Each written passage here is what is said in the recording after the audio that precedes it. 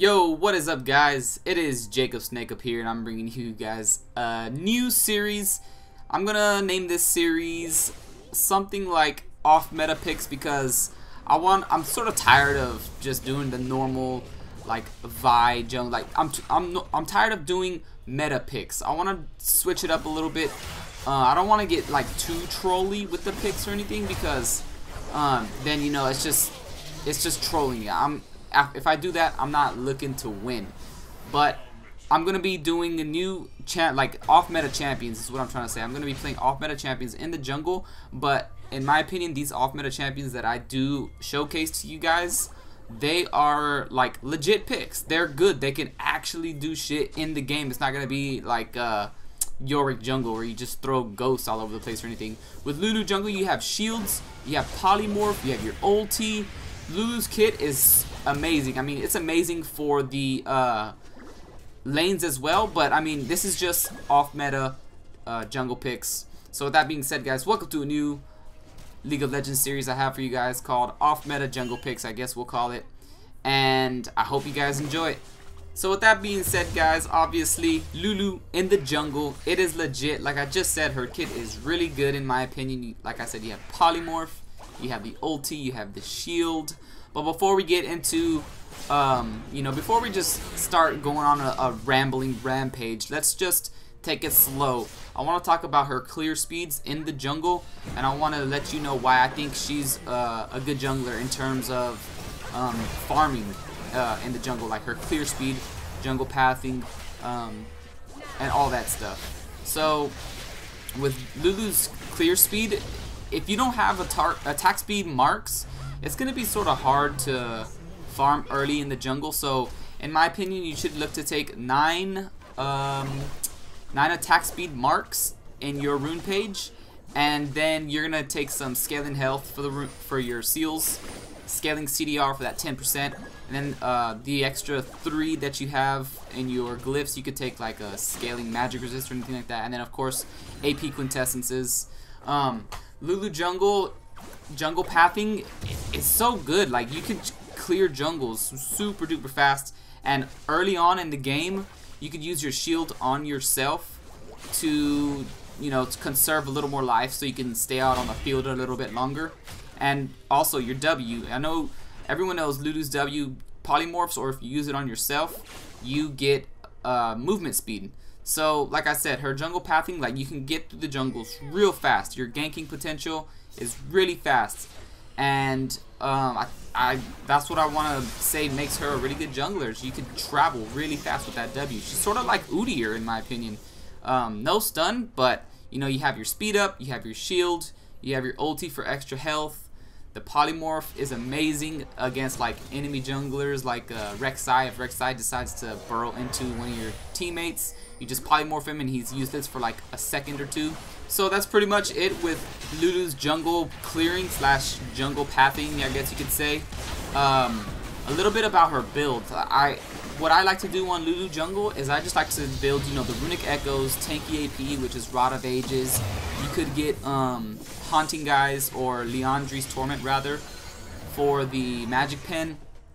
Um, in my opinion, getting that early, early 40% CDR is crucial just so that you can spam shields on yourself or on enemies.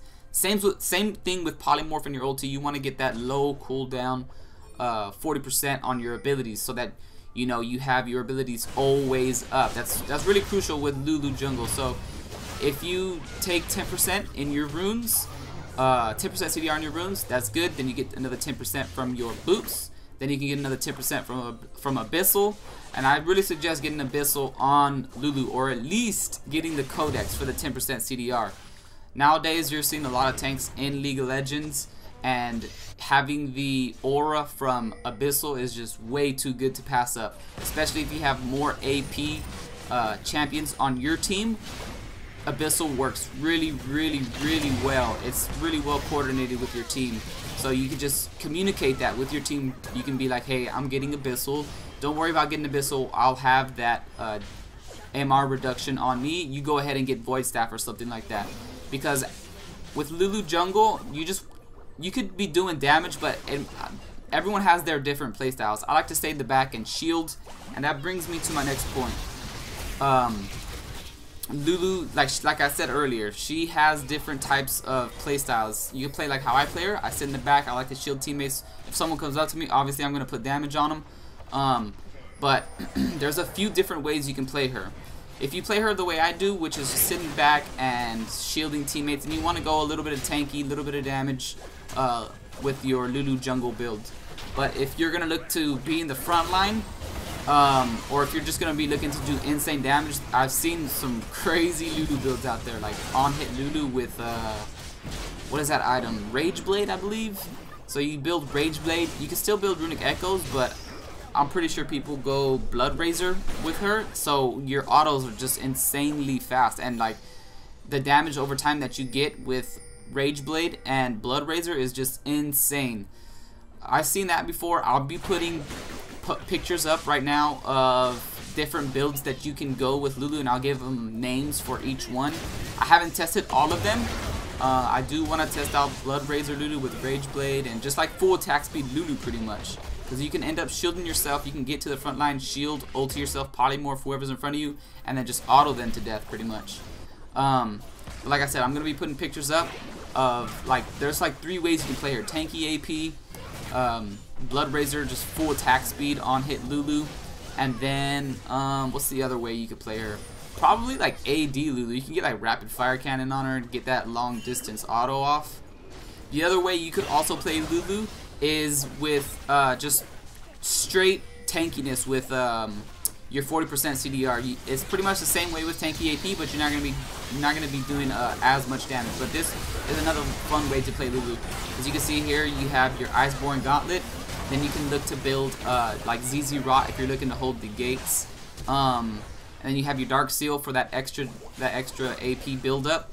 It's a really fun way to play Lulu because you're just always fast in lane if you end up building ZZ Rot because of the Raptor Cloak. That gives you such a nice passive of, you know, just a burst of movement speed. And this gameplay right here is all from one game. This is why Lulu is so good because you can just make so many plays. There's so many good interesting uh, team fights in this in this video, guys. So I didn't cover uh, like Lulu's ganking potential. I only said that she has really good gank potential, but I didn't cover why I think her ganking potential is great.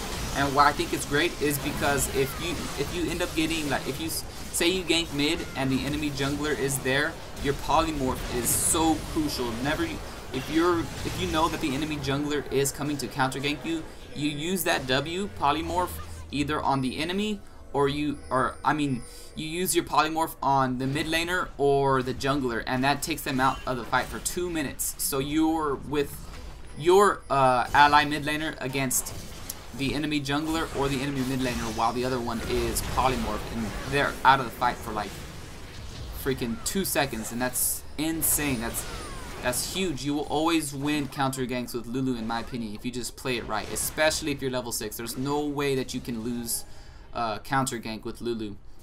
Also, ganking with Lulu, it's easy because if the wave is behind the enemy, um, you simply E the wave and then you can slow them down with your Q. So it, you have a really nice kit with Lulu ganking wise. So let's just go over what we've covered in this video so far. Lulu's ganking potential is amazing. Her jungle clearing slash jungle pathing is really great. You can get to places really fast with her W. Uh, her kit is amazing. All you gotta do is just shield yourself when you're taking damage uh, or shield your ally. Ulti your ally. You gotta make sure you get those ultis off. Uh, another thing that's that we talked about is um, her ganking potential, you can simply E one of the minions that's behind the enemy and use your Q to slow them. If you do end up getting that EQ combo off while you're ganking, it's it's so good because um, if you're if you have like a TF on your team or say a LeBlanc, they follow up with some chain CC, it's almost 100% a kill. Now I'm not saying Lulu is top tier, um, best jungler in the game right now. She's just something to play uh, like, you know, if you're getting bored of the usual Elise pick, Vi pick, Kindred pick, Gragas pick, if you're bored of the meta picks, you know, Lulu Jungle is fun to play. She's really cool. You know, it's real fun to spam shields and just tank damage for days. But, um, like I said, in my opinion, she's not top tier. She's just fun to play. So if you're tired of all the uh, meta picks, try out Lulu Jungle. Let me know how you like it. Um, I also have, you know, real meta jungle guides. I have a Vi guide. I'll have that in the description or on. A, I have it as an annotation on the screen. I'll have a few links to other videos that I made. Um, I hope you guys enjoyed this. This was a little bit rushed, but I just wanted to come out with a video soon so I wouldn't, you know, take your guys' subscription for nothing. I want to make you guys proud, so I hope you guys enjoyed this video. If you did, make sure you leave a like. And thank you for supporting me, everyone. I will see you guys next video.